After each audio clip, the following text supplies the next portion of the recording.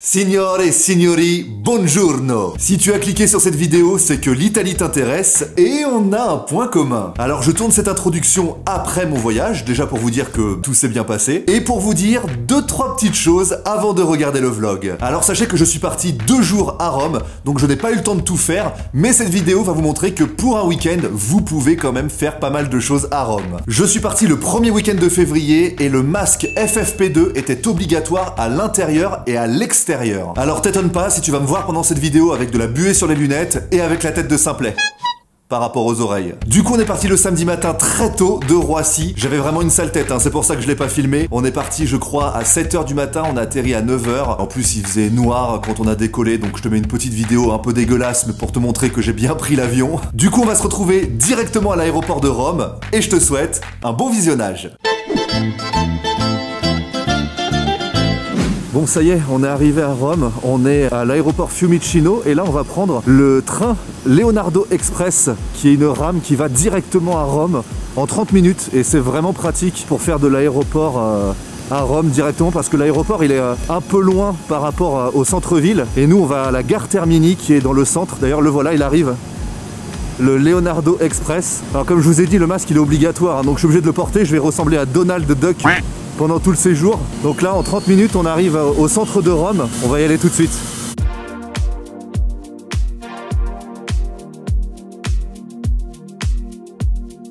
Il y a personne, il est plutôt stylé, confortable. Bah il y en a toutes les 15-20 minutes, donc euh, tu peux pas le louper. Hein. Euh, c'est le moyen le plus pratique pour aller à Rome parce que après tu as le bus où tu dois payer 7 euros par personne, ou alors le taxi qui est là hors de prix, mais le bus comme le taxi tu vas mettre 45 minutes, 1 heure, alors que là avec euh, le train tu vas mettre 30 minutes. Voilà, ça va être non-stop, direction Rome.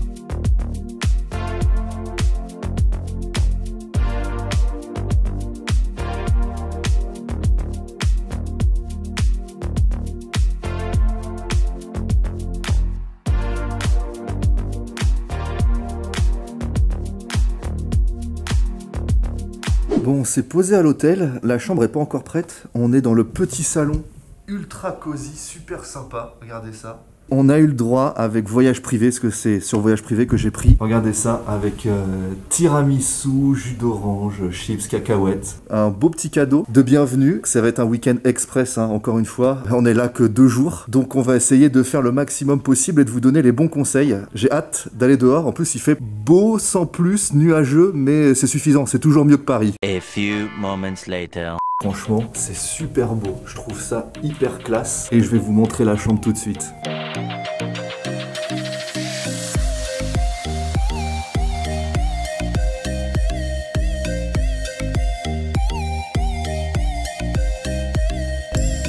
sympa quand même, je suis content. Ça suffira pour une nuit. Donc aujourd'hui, il euh, n'y a pas vraiment de programme pour nous. On est samedi. Le seul rendez-vous que l'on a, c'est à 15h30 au Vatican pour visiter le musée du Vatican et la chapelle Sixtine. C'est le seul musée qu'on va faire. Là, on va vraiment se balader dans Rome. On va essayer de vous faire des plans. Je vous dis, à part ce seul rendez-vous-là, c'est tout ce qu'on a à faire. Donc on va les faire. Tous les trucs gratuits le Colisée de l'extérieur, la fontaine de Trévis, et peut-être aussi tester les spécialités du McDo italien. Je sais qu'il y a des petits trucs qui changent par rapport à nous en France, donc on va voir si c'est vraiment différent ou si c'est la même chose.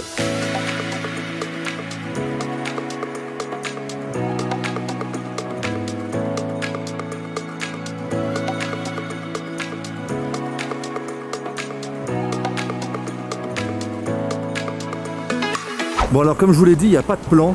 Là, on marche dans les rues de, Rome et on se dirige dans un premier temps vers le Colisée, puisque c'est quand même l'attraction de Rome. Tu me dis Rome, moi je te dis Colisée. On n'a pas pris le métro, là on y va vraiment à pied. C'est vrai que les premières impressions que tu as, c'est que c'est un peu vieillot, un peu ancien, mais au moins ça fait très authentique, très rustique, c'est très coloré. C'est ça qui fait plaisir à voir en tout cas.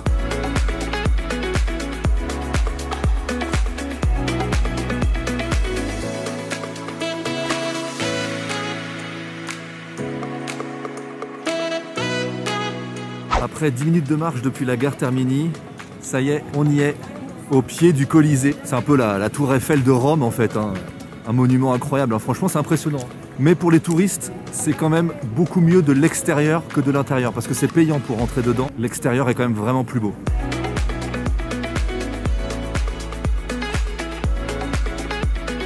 Tout à l'heure, je parlais de Tour Eiffel de Rome, mais il y a aussi euh, l'Arc de Triomphe de Rome qui est juste derrière, à côté du Colisée. hein. Ils sont vraiment l'un à côté de l'autre.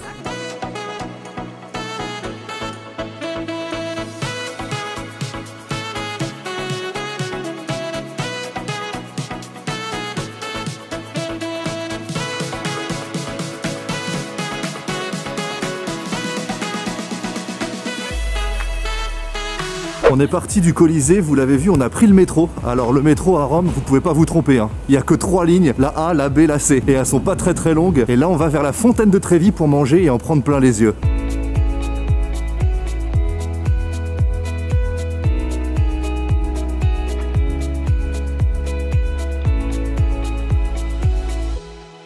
Franchement les gars, elle est énorme. Regarde-moi ça. Elle est dans une petite rue, tu arrives et tu te prends ça. C'est énorme. Alors on vient de quitter la fontaine de Trévis, on a été euh, manger euh, de la pasta, évidemment. Rien d'exceptionnel, donc euh, c'était bon mais sans plus. Il y a trop de monde. Les mecs ils sont devant les restos, ils arrêtent pas de te dire Allez viens manger, viens manger, t'es là tout le temps, non merci, non merci. Donc là on va à notre rendez-vous au Vatican.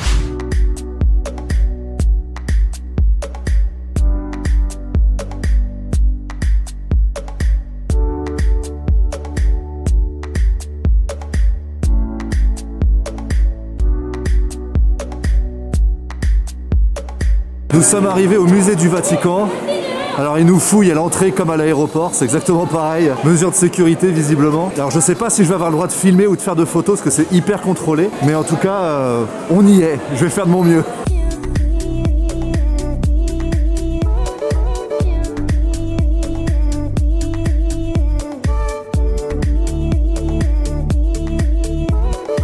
C'est plutôt sympa, c'est plutôt calme et reposant. Regardez-moi ça. C'est un petit peu comme le Louvre en fait, il y a plein de galeries où on peut aller, donc il y a la chapelle Sixtine où on va aller après. Vous connaissez cette euh, fameuse euh, peinture de Michel-Ange, là je vous la mets là comme ça, ça vous parle tout de suite. Bah, je vais la voir en vrai mais je crois que celle-ci, on n'a pas le droit de la prendre en photo ou en vidéo, je crois que c'est interdit. Mais je vais essayer, avec mon téléphone évidemment. Mais c'est vachement sympa, il y a pas mal de choses et euh, bah, on va aller faire un petit tour dans les galeries.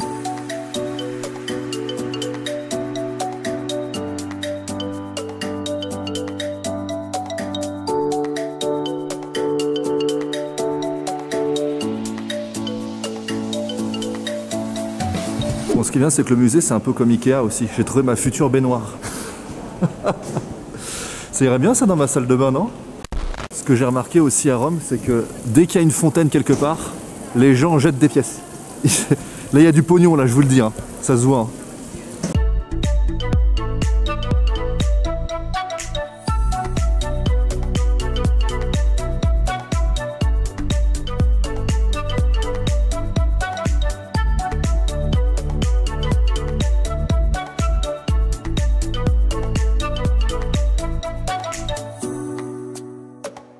C'est bien ce que je craignais. On descend vers la chapelle Sixtine et ils me mettent pas de photo. hein. Pas de photo, je vais essayer de faire ça en scred. Je vais faire le maximum que je peux pour vous montrer l'œuvre.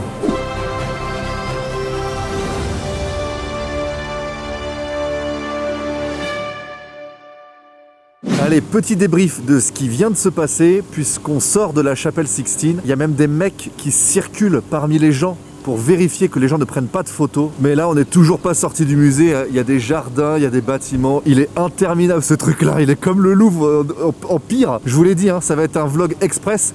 J'ai pas le temps. Il faut que je continue à faire mes visites.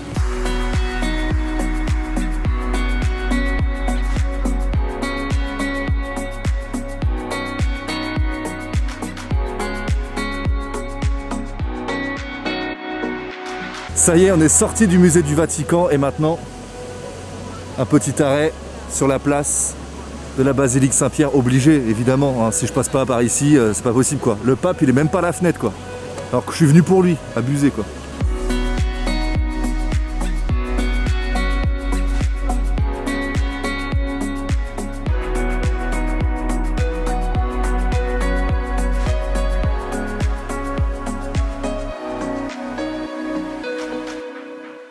Il est 18h et on vient d'arriver Plaza di Spagna, c'est un petit peu euh, le Montmartre à Rome, ça surplombe une rue qui est juste derrière moi.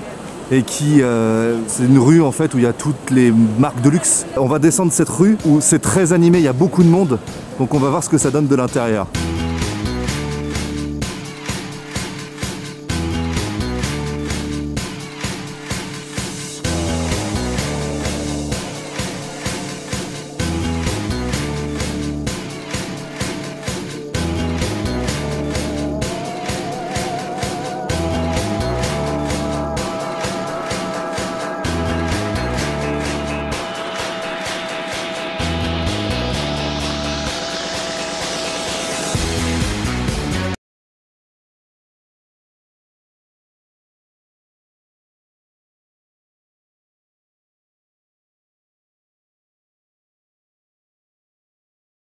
Non, j'ai rien acheté dans les boutiques de luxe, là j'ai pas les moyens.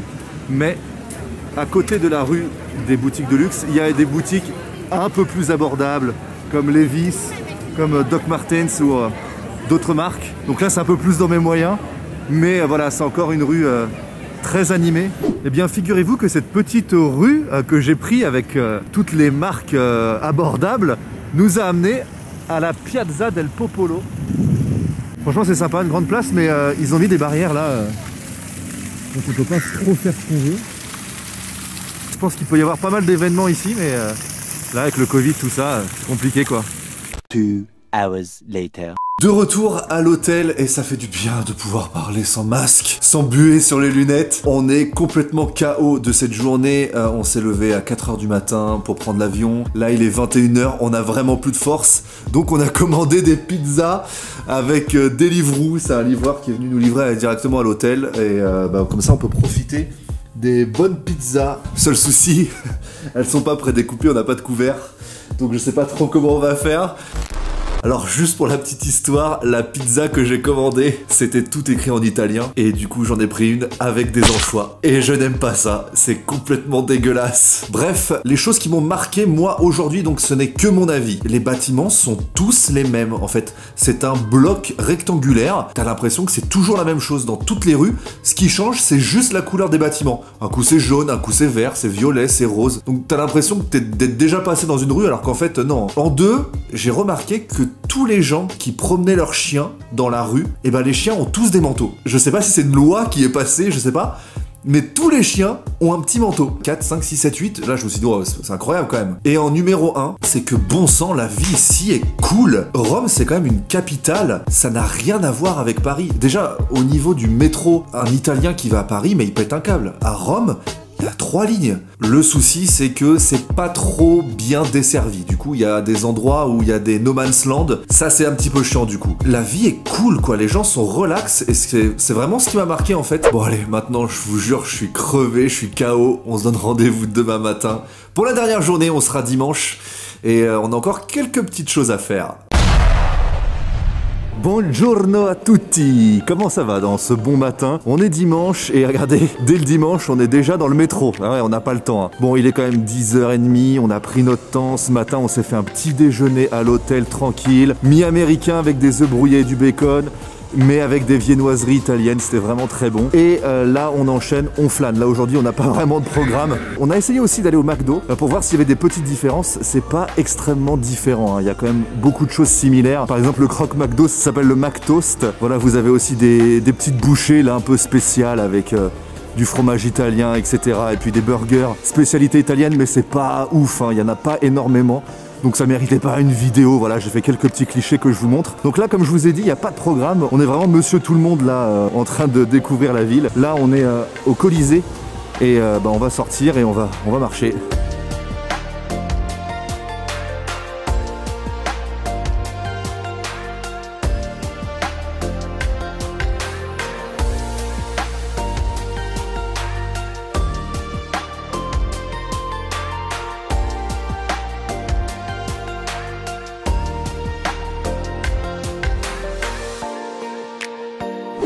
Marche, on marche, et pas très loin du Colisée, il y a ce monument absolument énorme. Je crois que j'ai jamais vu un monument aussi grand. On est tout petit à côté, je sais pas si ça rend bien la caméra. Et on est euh, Piazza Venezia, c'est euh, top de beau.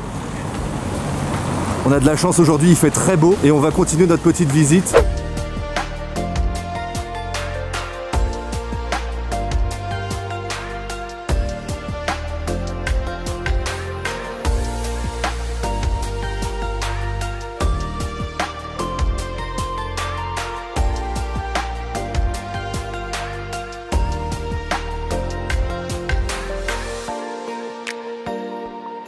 Y a du monde, il fait beau, il fait chaud. J'ai retiré le masque là parce qu'il fait vraiment très chaud. On est beaucoup harponné quand même hein, en Italie. hein. Je trouve qu'il y a beaucoup de personnes qui viennent euh, vous vendre de l'eau ou des bracelets ou des trucs comme ça. Ou si tu marches trop près d'un resto, on, on t'alpague. Allez, viens manger, viens manger. Tu dis beaucoup non merci, hein. no grazie.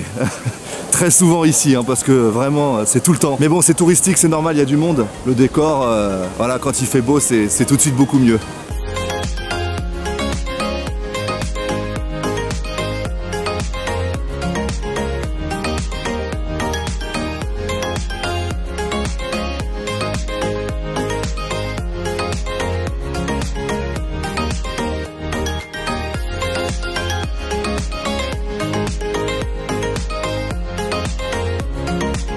S'est posé dans une petite ruelle euh, tranquille pour pouvoir euh, trouver un restaurant parce que quand tu marches le long des restaurants, les mecs ils te laissent même pas le temps de regarder la carte. Ils te disent allez viens viens. Puis les mecs ils sont bilingues en plus, ils parlent français. Il y a beaucoup de francophones ici et ils te disent allez viens manger, viens manger. Et et t'as pas le temps de regarder la carte et toi tu te laisses tenter et après t'es déçu. Donc là on s'est posé pour bien regarder les cartes et savoir où est-ce qu'on va aussi les mieux noter. Après on pourrait aussi faire un petit tour euh, en Vespa, en Fiat ou en vélo. hein mais euh, je préfère me saigner les pieds. On a beaucoup marché et je vous avoue que là, si on mange vraiment beaucoup, après on va être gavé pour le reste de la journée, on va être bien lourd. Du coup, on essaie de trouver un petit truc tranquille. euh, Enfin, on va essayer, hein, évidemment. Et puis, euh, j'espère vous faire des petits plans de ce qu'on va manger et boire.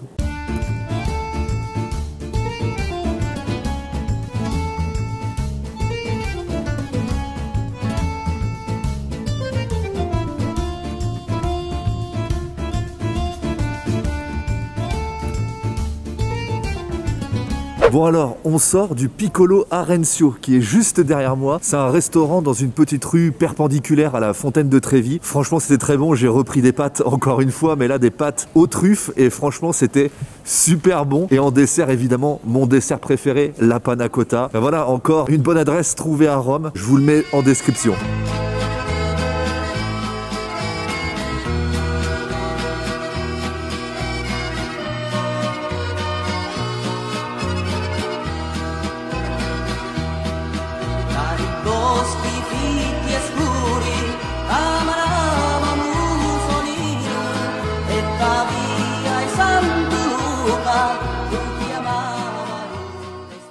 Il est l'heure, toutes les bonnes choses ont une fin. On quitte l'hôtel, ça y est, il est 18h, on est dimanche. On a l'avion à 20h, donc on va retourner à la gare Termini, prendre le train, direction l'aéroport de Fiumicino. Voilà, on dit à la... au revoir à la chambre 514. Et puis euh, voilà, on va reprendre notre Leonardo Express.